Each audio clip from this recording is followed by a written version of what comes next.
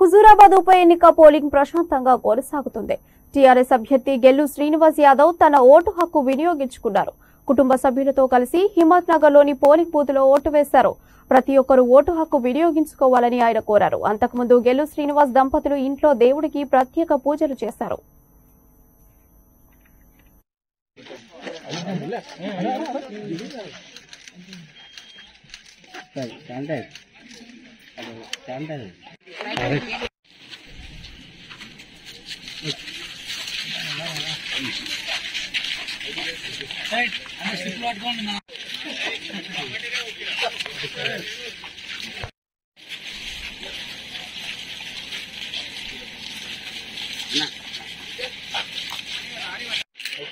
ఒకసారి మీరు.